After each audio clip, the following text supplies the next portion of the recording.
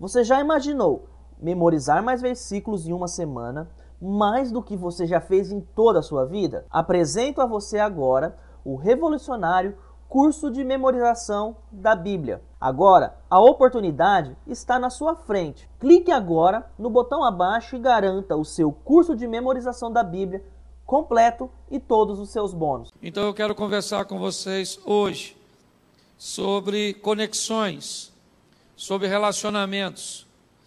Eu aprendi, já já vou ler o texto, essa tem sido a mensagem que Deus tem colocado no meu coração nos últimos dias para ministrar e por onde eu tenho passado, em alguns lugares eu tenho falado sobre isso. A família é uma das instituições mais atacadas. Aliás, as instituições que trabalham com formação de relacionamentos são as instituições é, que têm sido extremamente atacadas, alvejadas pelo mal. A família, a igreja e o nosso sistema ou instituição educacional. Porque todas elas estabelecem matrizes, bases. E se nós conseguimos deformar matrizes, nós vamos deformar tudo aquilo que vem após. Quando nós deformamos um lar, quando se desequilibra um lar, quando remove o amor, o respeito, as responsabilidades com as pessoas que serão formadas neste lar ou com o ambiente, quem chegar nesse lar crescerá provavelmente deformado. Se houver uma deformação no sistema de ensino, aliás, a coisa é tão séria que hoje a palavra precoce praticamente não existe mais.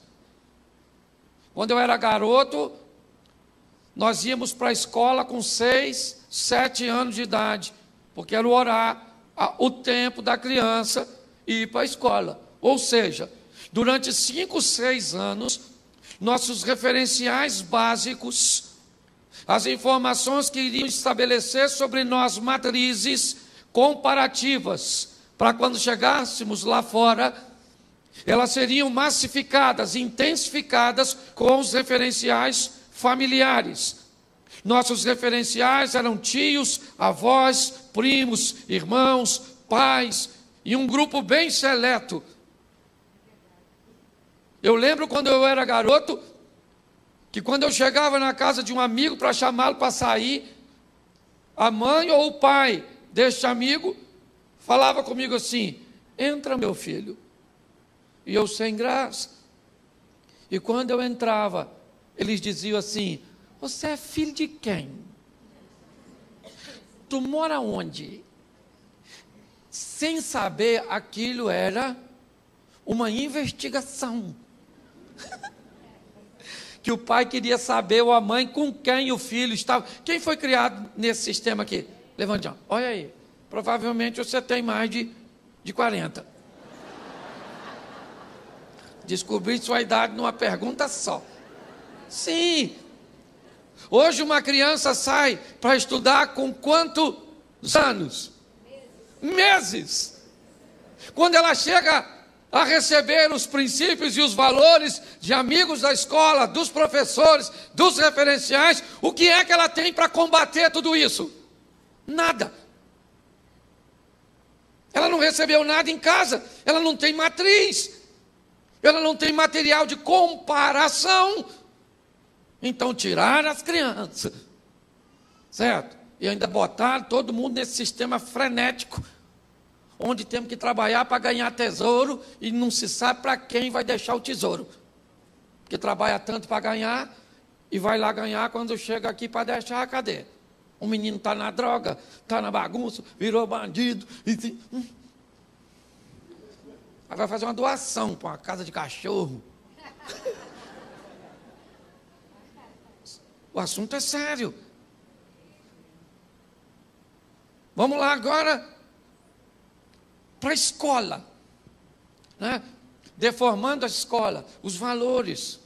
2013, chegou na, nos colégios públicos uma cartilha direcionada ao público a partir de seis anos. Quantos anos? Quantos anos? Isso, de seis a doze anos. A cartilha estava assim o conteúdo. O que, que é transar? Como se transa? O que se sente quando se transa? Eu queria, e me permita aqui até expressar você sem ninguém criar nenhuma retaliação sobre o seu posicionamento. Quem acha que uma menina de seis, sete anos, um menino, seu neto, seu filho, seu irmão, seu sobrinho, tem capacidade de entender todas essas informações e você é a favor da distribuição dessa cartilha, por gentileza, levante a mão só para me saber a sua opinião. Levante a mão, quem é a favor? Pois é. Então eu pergunto: se ninguém é a favor, como é que o MEC distribuiu isso? Deformar a turminha. Entendeu? Sistema de educação corrompido. Olha só, a família vai nos dar base de relacionamentos.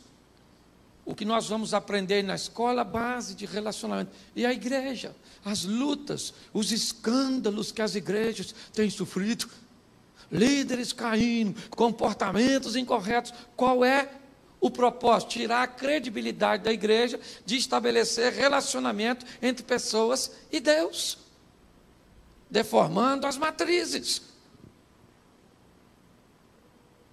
Então, nós vamos conversar um pouco sobre isso hoje, certo?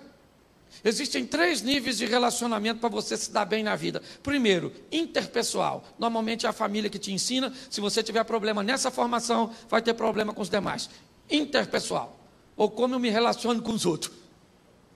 Ou seja, você chega na família, é sua mãe, seu pai, você vai olhando como seu pai trata sua mãe. Você não fala nada. E nós, na nossa época, menos falávamos.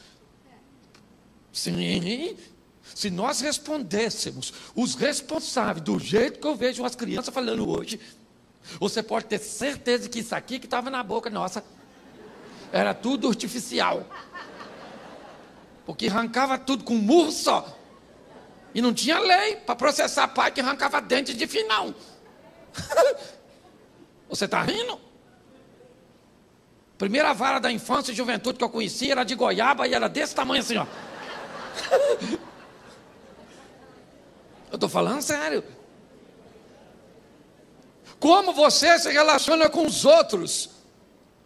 Essa é a primeira base de relacionamento que o indivíduo recebe. Se deformar essa base, vamos ter sérios problemas. Por quê? Porque o segundo relacionamento é como eu me relaciono comigo mesmo. E isso está totalmente ligado a, ao primeiro tipo de relacionamento que eu tive. Deixa eu te dar uma base bíblica para solidificar, ainda que eu vá usar o texto mais à frente. Olha o que o salmista diz: prepara uma mesa perante mim na presença dos meus, unja a minha cabeça até que o meu cálice. O salmista está dizendo o quê?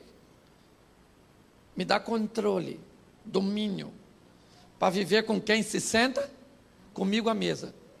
Segundo Jesus, quem se sentaria conosco à mesa e seria nossos inimigos seria quem?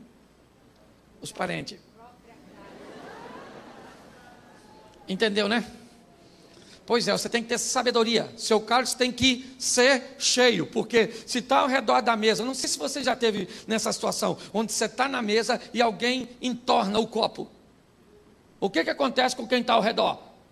Moia ele. Não moia? Quem já foi moiado assim por um desastrado que entornou? Pois é, é isso que o texto está dizendo. Os inimigos vão ser moiados pelo seu transbordar. Olha que coisa fantástica. Deus começa em você e chega neles. Mas para isso você vai ter que aprender a lidar. Relacionamento intrapessoal, como você se relaciona consigo mesmo. O salmista conversando com ele, fica quieta dentro de mim. Ó oh, minha alma. Ele está falando com quem? Com ele mesmo. A alma, a, a alma. Às vezes você tem que falar assim com você mesmo, com seu olho, olho, olho. Olha para onde você olha, miserável. Mão, mão, olha onde você quer passar, miserável. língua, língua. Não, não, olha o que você vai falar. É. Se você às vezes tem uma conversa franca com você mesmo, cala a boca, miserável. Fica quieto, sua praga. Comunicação intrapessoal. E comunicação divina. Como você se relaciona com Deus. Se você aprender a lidar com as pessoas, com você mesmo e com Deus, você encontrou o caminho para ser feliz.